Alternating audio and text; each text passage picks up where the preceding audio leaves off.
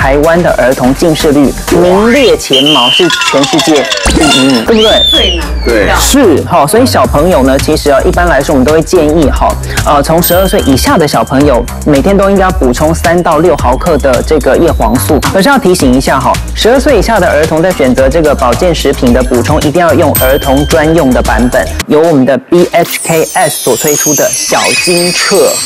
这个呃叶黄素，好，它是这样定剂，然后它其实它它其实就像小糖果，因为它就是一个熊熊的图案。OK 我。跟你讲，小朋友一定都跟你拿。我刚刚出门的时候，就每个人先喂一颗。对，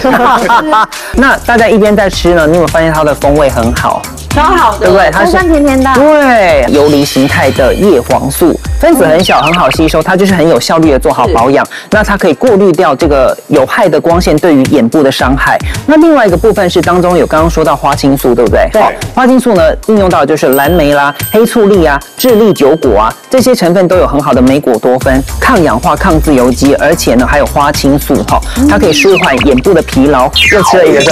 图